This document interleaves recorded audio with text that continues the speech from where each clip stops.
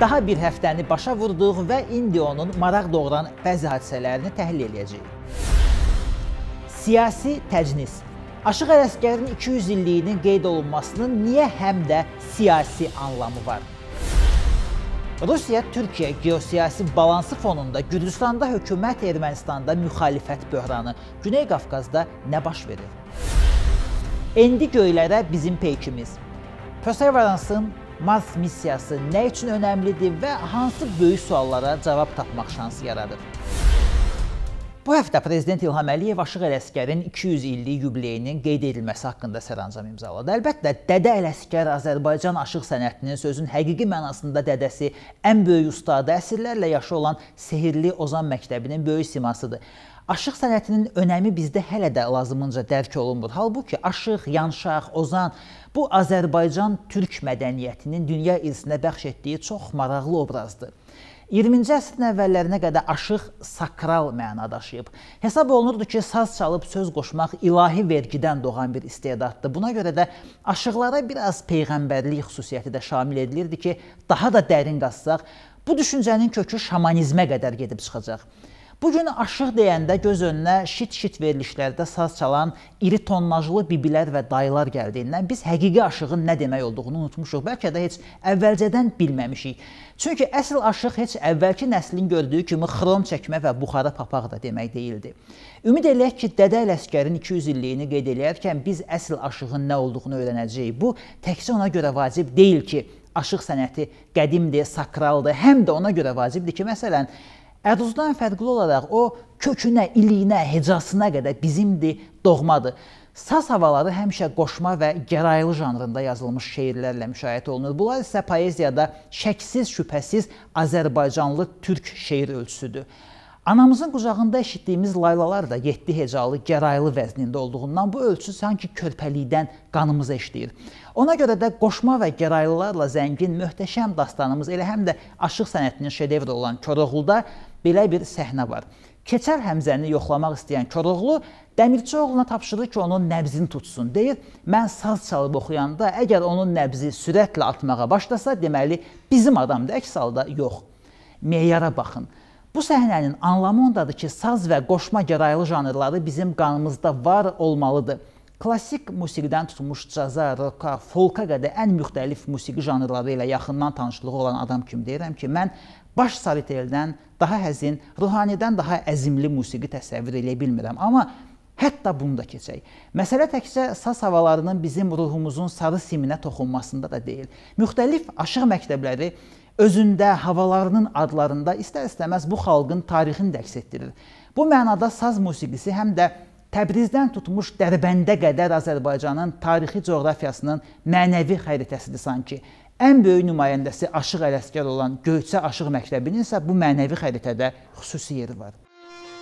Göyçə gülü, İrəvan çuxuru, Dərəyələz gəraylısı kimi havaları ilə aşıq sənəti bu gün də Qərbi Azərbaycanda qalan torpaqlarımızın ruhunu özündə yaşadır. Həm də təkcə coğrafi yox, elə tarixi baxımdan da.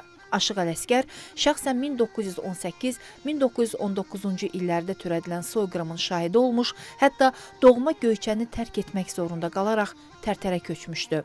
Amma Göyçədən kənarda yaşaya bilmir və 3 il sonra yenidən geriyə qayıdır. Bu dəfə doğma torpaqlarda son illərini başa vurmaq üçün. Fəqət ermənilər onun ölüsündən də əl çəkmir və 90-cı illərin əvvəllərində özlərinə xas barbarlıqla qəbrini yerlə yeksan edirlər amma sənəti ilə bacarmırlar. Ələsgərin qoşmalarında bu gün də Göyçə Azərbaycanın mənəvi məkanının bir parçasıdır və əbədi belə qalacaq. Aşıq Ələsgərin 200 illiyini qeyd etməklə biz istər-istəməz bütün dünyaya həm də Göyçənin tarixi Azərbaycan torpaqları olduğunu xatırladırıq. İndiki Ermənistan dövlətinin Azərbaycan torpaqlarında qurulduğunu yada salırıq və sanki eyham vururuq ki, əgər tarixindən bəhanələr gətirib torpaq istəməyə qalsa, kim kimə daha çox iddia eləyə bilər? Ermənilərin məğlub olduqları halda Qarabağla bağlı tarixi nağıllardan əl çəkməyib revanşist ideyaları aktuallaşdırdıqları indiki dövrdə bu xüsusilə önəmlidir. Yeri gəlmişkən Göyçəli Aşıq Ələsgər də ən gözəl təcnislərindən birini elə Qarabağ haqqında yazmışdı. Görün, aşıq poeziyasına xas olan bu janr həqiqətən də sehirli deyilmi? Var olsun Qarabağ, əcəb səfadır, başa xaçın axır ayağa, qarqar. Göyçə qar əlindən zara gəlibdi, muğan həsrət çəkir ayağa, qar, qar. Bu həftə Qarabağ regionunda müşahidə edilən diplomatik aktivliyin də mərkəzi xəttlərindən biri idi. Həmin təmasların məzmunu və mahiyyəti bölgədə ciddi proseslərin getdiyini deməyə əsas verir. Onlardan bəzilərini Rusiya prezidenti Vladimir Putinlə Türkiyəli həmkarı Rəcəb Tayyib Ərdoğanın telefon danışığından sezmək mümkün idi. Prezidentlər əvvəla energetika məsələsini müzakirə ediblər. Cənub qaz dəhlizinin işə düşməsi, Şimal axını 2 layihəsinin isə faktiki bloklanması şəraitində Moskva ilə Ankaranın birgə energetika layihələri üzərində işləmələri geosiyasi məna daşıyır. Əslində elə vaksin tədarükü də həmçinin Türkiyənin Çindən kifayət qədər effektiv vaksinlər idxal etdiyini nəzərə alsaq, Rusiya peyvəndlərinin qardaş ölkədə istehsalının təşkili daha çox siyasi məsələdir. Rusiya bununla vaksin bazarında salındığı blokadanı Türkiyənin də köməyi ilə yarmağa çalışır. Eyni zamanda nəzərdən qaçırmaq olmaz ki, Türkiyə NATO ölkəsidir. NATO isə bu həftə məlum oldu ki, soyuq müharibə bitəndən bəri ilk dəfə olaraq Rusiyanı tərəfdaş adlandırmağa son qoyaraq onu əsas hərbi təhdid elan etməyə hazırlaşır. Bu həftə NATO ölkələrinin müdafiə nazirlərinin 2 günlük toplantısında əsas məsələ Əfqanistandan çıxmaq olmalı idi. Taliban rəhbərliyi artıq bəyan edib ki, əgər keçən ilin fevralında Trampla razılaşdırılan vaxtda bu ilin mayına qədər 10 minlik NATO kontingenti Əfqanistanı tərk etməsə, onda hərbi əməliyyatlar başlayacaq. NATO bununla bağlı heç bir qərar verə bilmədi. Əvəzində İraqdakı missiya 500 nəfərdən 4000 nəfərə qədər artırılacaq. Amma toplantının ən maraqlı məqamı NATO-nun baş katibi Jens Stoltenbergin yeni strateji konsepsiyanın hazırlanması haqqında verdiyi açıqlama oldu. Belə ki, yeni konsepsiyada NATO ölkələrinə əsas təhdid kimi beynəlxalq terrorizm yox, Rusiya və Çin göstərilir. 2010-cu ildə qəbul edilən konsepsiyada biz Rusiyaya tərəfdaş kimi baxmışdıq. Amma o vaxtdan bəri vəziyyət xeyli dəyişib və indi Rusiyanın aqressivləşdiyini görürük. Biz alyans ölkələrini şərq cinahında böyük miqdarda hərbi qüvvə yerləşdirməyə vəsləndirməliyik. Alyansın Xarici İşlər Nazirlərinin toplantısına video əlaqə ilə qatılan Pentaqonun yeni rəhbəri Lloyd Austin bildirib ki, NATO ölkələri lazım olanda Rusiyadan gələn təhdidlərin qarşısını ala bilmək üçün müdafiə xərclərini artırmalıdırlar.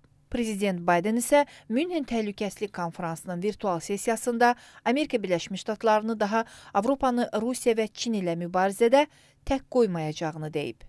Hazırda həm Rusiya, həm də Türkiyə qərb istiqamətindən möhkəm sıxışdırılmaqda davam edirlər. Ötən həftə Amerika Birləşmiş Ştatları Senatının 54 üzvü Baydenə məktub yazaraq Ərdoğana təzyiq etməsini istəmişdilər.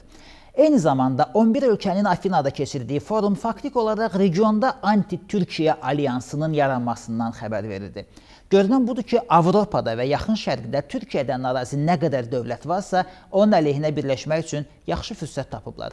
Gələn ay martın 25-i 26-sında Avropa liderlərinin sammitində Türkiyəyə qarşı sanksiyaların sərtləşdirilməsi məsələsinə baxılacaq. Ankara da öz növbəsində bu təzyiqlərin qarşısında manevr etməyə çalışır. Məsələn, qardaş ölkənin müdafiə naziri Hulusi Akarın Berlinə səfərində əsas məqsədlərindən biri məhz mart sammiti qabağı münasibətləri dəqiqləşdirmək idi. Amma belə görünür ki, nə Rusiya, nə də Türkiyə Qərbin getdikcə intensivləşən təzyiqlərinin qarşısında tək başına dayana bilməyəcəklər. Bu isə onları zorən təbii müttəfiqə çevirir və müxtəlif istiqamətlərdə, cinahlarda əməkdaşlığa sövq eləyir. Həmin işbirliyinin bir cinahı Suriyadırsa, Putinlə Erdoğan orada baş verənləri də müzakirə ediblər. Digəri Güney Qafqazda, xüsusilə də Qarabağ. Putinlə Ərdoğanın telefon danışığı zamanı Qarabağ ətrafındakı vəziyyət də müzakirə edilib. Kremlin mətbuat xidmətinin məlumatında deyilir ki, regionun sosial-iqtisadi inkişafı maraqları çərçivəsində Rusiya və Türkiyənin fəaliyyətinin əlaqələndirilməsi nəzərdə tutulur. Paralel olaraq Rusiyanın Xarici İşlər naziri Sergey Lavrov Azərbaycanlı həmkarı Ceyhun Bayramovla telefonla danışıb, daha sonra isə Moskvada olan erməni həmkarı Ara Ayvazyanla görüşüb. Rəsmi məlumatlara görə bütün bu təmaslarda yanvarın 11-də imzalanan üçtərəfli bəyanatın yerinə yetirilməsi müzakirə olunub. Ermənistan daha çox əsirlər məsələsini qabartmağa çalışsa da, Türkiyənin müzakirələrdə iştirakını nəzərə alsaq, ehtimal edə bilərik ki, kommunikasiyaların açılması əsas prioritetdir. Bu görüşlərin siyahısına Türkiyə prezidenti Rəcəb Tayyib Ərdoğanın Azərbaycanın həm baş naziri Əli Əsədovu, həm də baş prokuror Kəmran Əliyevi qəbul etməsi də əlavə olunmalıdır.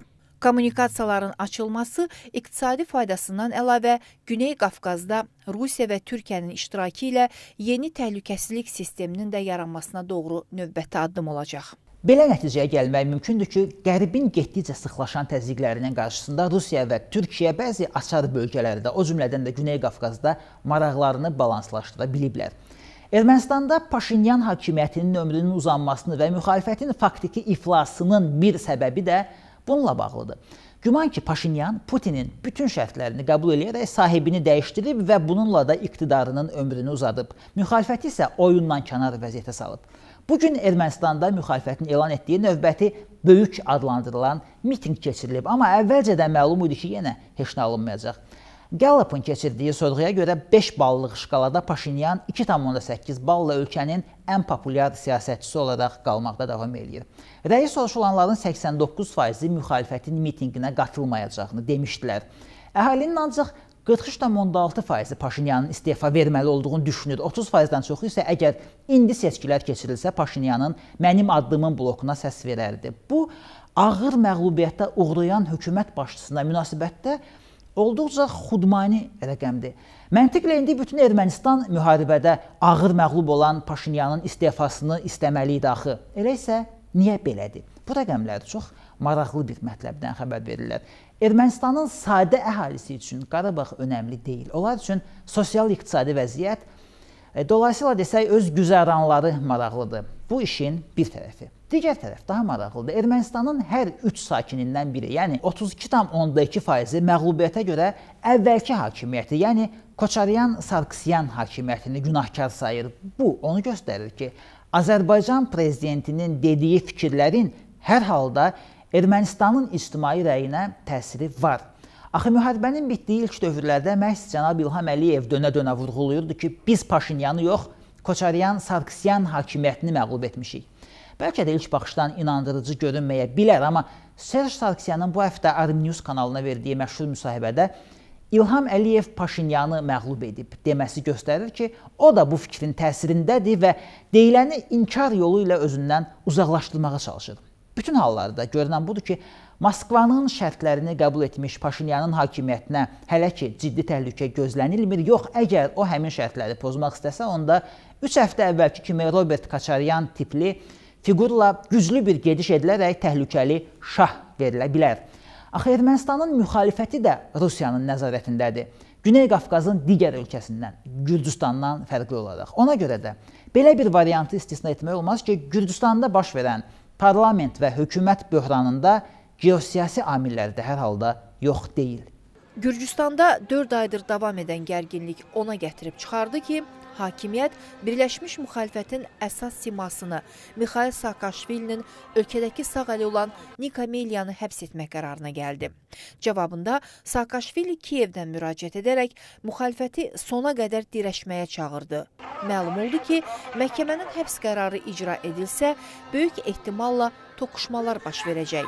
Nəticədə bunun qarşısını almaq üçün baş nazir Georgi Qaxariya istefa verdi. Son həftələrdə Nika Meliya güman ki, xaricdən gələn göstərişlərlə xüsusilə aqressiv davranır, Bidzina İvanaşvilinin hakim partiyasını Putinin tapşırığı ilə oturub durmaqda, Gürcüstanı Rusiyanın qucağına çəkməkdə itham edirdi. Bütün bu gərginliyin baş nazir Qaxariyanın istefası ilə yekunlaşması müxalifətin gücü kimi qələmə verilir və belə şərtlər səslənir ki, 2012-ci ildən bəri Saakashvili heç vaxt iqtidara dönməyə indiki qədər yaxın olmamışdı. Amma bir partiyadan ibarət parlamentin dərhal yeni hökuməti təsdiqləməsi göstərdi ki, Bidzina İvanaşvili geri çəkilmək fikrində deyil. Saakashvili də həmçinin O, xaricdən hökuməti müxtəlif qarşıdurmalar çəkməkdə və daxili siyasi vəziyyəti gərginləşdirməkdə davam edir. Yada salaq ki, oktyabrın 31-də keçirilən seçkidən sonra Gürcüstan müxalifəti parlamenti tam heyətdə boykot edib və indi məclisdə ancaq bir partiya var. Fəqət 90 mandata malik olması Gürcü arzusuna istənilən qərarı tək başına qəbul etməyə, o cümlədən yeni hökuməti təsdiqləməyə imkan verir. Biz Gürcüstandakı proseslərdə mütləq geosiyasi təsirlərin olduğunu iddia etmirik, amma bu versiyanı kənara qoymaq da olmaz. Regiondakı qüvvələr düzümünə nəzər salaq. Ermənistanın müxalifəti də, iqtidarı da dediyimiz kimi Rusiyanın nəzarətindədir. Azərbaycanda Rusiyanın və Türkiyənin sülh məramları əlavə olaraq qardaş ölkənin böyük siyasi nüfuzu var. Bu həftə Ərdoğan Azərbaycanla Türkiyə arasında müdafiə sənayesi sahəsində əməkdaşlıq sazişi ilə energetika, mədənçilik sahələrində əməkdaşlıq sazişində təsdiqlədi. Birgə hökumətlərarası komissiyanın iclasında ticarət dövriyyəsini 15 milyard dollar kimi nəhəng rəqəmə çatdırmaq kimi nəhəng bir hədəfdən danışıldı. Gürcüstana gəlincə oranı Rusiyapərəst oliqarxın partiyası idarə eləyir. Faktiki bütün Güney Qafqazda Rusiya-Türkiyə maraqlarının tarazlığı var. Qərb isə əvvəllər ən azı Minsk qrupunun simasında tərəf kimi mövcud isə indi o da yoxdur. Belə çıxır ki, bu son dərəcə mürəkkəb və vacib bölgədə Qərb faktiki geosiyasi ofsayda salınıb. Ona görə də Saakashvilinin Gürcüstandakı hökumət böhranı fonunda aktivləşməsi eyni zamanda qərbpərəst qüvvələrin heç olmasa regionun bir ölkəsində fəallaşması kimi nəzərdən keçirilə bilər. Bütün hallarda buna da nisbi yanaşmaq lazımdır. Çünki Azərbaycan, Türkiyə, Rusiyanın iştirakı ilə bölgədə elə bir iqtisadi, siyasi təhlükəsizlik sistemi yaradılır ki, Gürcüstan hər halda onun bir hissəsi olmağa məcburdur. Sadəcə Qərbin siyasi mərkəzləri şərq cinahındakı bu çox önəmli bölgədə elə qədim şərqin məşhur bir oyunundakı kimi Mars vəziyyətinə düşməmək üçün regionda siyasi mövcudluqlarının təminatı üçün nəsə etməyə çalışacaqlar. Marsdan söz düşmüşkən bu həftə həm dünyanın, elə həm də Azərbaycanın gündəmindəki əsas mövzulardan biri də Mars idi. NASA-nın 2 il əvvəl start verilən Perseverance missiyası qırmızı planetin Yezero krateri adlanan bölgəsində uğurlu enişlə növbəti mərhələyə adladı. Bu nə missiyadır, nə üçün önəmlidir? Niyə bütün dünyada, o cümlədən də Azərbaycanın sosial şəbəkəsində bu qədər səs-küy doğurmuşdu? Gəlin aydınlaşdıraq. Adının mənasını əzmkarlıq kimi tərcümə edə biləcəyimiz cihaz indiyə qədər Marsa göndərilmiş ən böyük maşındır. Amma boyuna görə də toyu var. O, planetin səthini qazaraq dərinlikdən çıxardığı nümunələri yerindəcə analiz edə biləcək. Əsas missiyası isə həyatın izlərini axtarmaqdır. Əgər güman edildiyi kimi əvvəllər Marsda atmosfer və su olubsa, demək həyat da yarana bilərdi. Eniş üçün məhz Yezero kraterinin seçilməsi də bununla bağlıdır. Alimlər 3,5 milyard il əvvəl orada gölün və çay deltasının olduğunu düşünürlər. Demək, qədim mikroorqanizmlər axtarmaq üçün ən münasib yerdir. Perferansın yol yoldaşı olan Intunity kopteri, yəni Mars vertolyotu qırmızı planetdə uçuşlarla bağlı təcrübələr aparacaq. Bütövlükdə missiya NASA-ya 2,8 milyard dollara başa gəlib. Vəsaitin 2,2 milyardı süni intellektlə idarə olunan aparatın astrobioloji dronun özünün hazırlanmasına xərclənib. Bu qədər xərc və zəhmət nə üçün çəkilir? Perseverance-ın rəsmi elan olunan məqsədlərindən biri fəzadakı yaxın qonşumuzda Gələcəkdə böyük kosmik gəmilərin enməsi üçün uyğun yerin axtarılmasıdır. Amma romantikaya qapılmaq lazım deyil. Biz ötən həftə dünya dövlətlərinin arasında yeni ay yarışının başlamasından, qardaş Türkiyənin də bu yarışa qoşulmasından danışmışdıq. Yadınızdadırsa, aya uçmaqla bağlı ən yaxın planlar 2030-cu ilə hədəflənib. Marsa yerdən uçmaq bir qədər çətin məsələdir. Çünki indiki raket yanacağı ilə bağlı belə bir paradoks var. Uzağa getmək üçün böyük miqdarda yanacaq lazımdır. Böyük miqdarda yanacaq böyük kütlə deməkdir. Böyük kütləni kosmosa qaldırmaq üçün isə yenə də böyük miqdarda yanacaq lazımdır. Kosmosa qaldırılan yükün hər kiloqramı qızıl qiymətinədir. Onda belə alınır ki, uzaq kosmik uçuşlarda yanacağın çoxu elə yanacağın özünü daşımaq üçün lazım olur. Bu səbəbdən Marsa pilotlu uçuş ya yerin orbitindən ya da aydan təşkil olunmalıdır. Ayın özünə uçmaq 2030-cu ilə nəzərdə tutulubsa, Mars yəqin ki 2045-2050-ci illərdən tez olmayacaq. Hələlik isə Perseverance missiyası böyük elmi maraq doğurur. Məşhur betting proqramlarının birində belə mərc təklifi olunur. Sizcə Perseverance Marsda nə tapacaq? Əmsallar belədir. Suyun mövcudluğuna dair yeni sübutlar 5. Məsələn, mən buna stavka qoyardım. Yeni canlı mikroorqanizmlər 12 əmsal, mən hətta buna da stavka qoyardım. Keçmişdə həyatın mövcudluğuna aid sübutlar 21 əmsal. Göründüyü kimi daha zəif şans sayılır, amma hətta bu da istisna deyil. Perseverance məhz astrobioloji drondur. O, həyat izləri tapmaq üçün layihələndirilib. Əgər Marsda hər hansı bir formada həyatın, məsələn, mikroorqanizmlərin izi tapılarsa, bu elmdə və bəşər şuurunda ən böyük çevrilişlərdən olacaq. Çünki bu o demək olacaq ki, həyat yer kürəsi üçün unikal hadisə deyil və kosmosda yayılmış bir fenomendir. Bu həyatın yaranması və inkişafı haqqında elmi paradigmaların qəti və təntənəli qələbəsi olacaq. Marsda həyat izlərinin tapılması yerdə həyat necə yaranıb sualına cavab verəcək. Bu elə bir fundamental sualdır ki, onun dalınca Marsa yox, daha da uzağa getmək, milyardlar yox, trilyonlar da xərcləməyə dəyər. Əgər Marsda həyatın izləri ən azından mikroblar tapılacaqsa, bunu görmədən, bilmədən ölmək bir elm həvəskarı üçün çox kədərli sonluq olardı. Çünki Marsda hər hansı formada həyat tapılsa, biz yəqin eləyəcəyik ki, qeyri-üzvü maddələr üzvü kimyaya, üzvü kimya isə biologiyaya çevrilməyə qadirdir. Bu elə bir kəşf olacaq ki, bəşəriyyətin bütün filosofları, elm adamları, həyatın necə yaranması üzərində baş sındıranlar onu bilmək üçün öz ruhlarını Faustdan da artıq həvəslə Mefistofelə satardılar. Nəhayət, bu elmlə din arasında əsrlərdir gedən mübahisəyə də nöqtə qoya bilər. Çünki Marsda mikrobların tapılması o demək olacaq ki, həyat kosmik materiallardan özünü yarada və yaxud kosmosda səyahət eləyə bilir. Bundan sonra necə sualın üzərində böyük axtarışlar başlayacaq və həmin axtarışların insanlığı aparıb tamam yeni üfüqlərə çıxarması mümkündür. Müqayisə edəsi olsaq, böyük adron kollayderinin yaradılması, orada aparılan təcrübələrdən alınan nəticələr kvant fizikasında hansı rol oynamışdısa, Perseverance-ın da astrobiologiyada həmin rolu oynamaq şansı var. Hələlik isə bizə gözləmək qalır. Maraqlı nəticələr olsa biz əlbəttə ki, sizin üçün şərh eləyəcəyik. Siz də Azvision-ı izləyin və bütün hallarda möhkəm olun.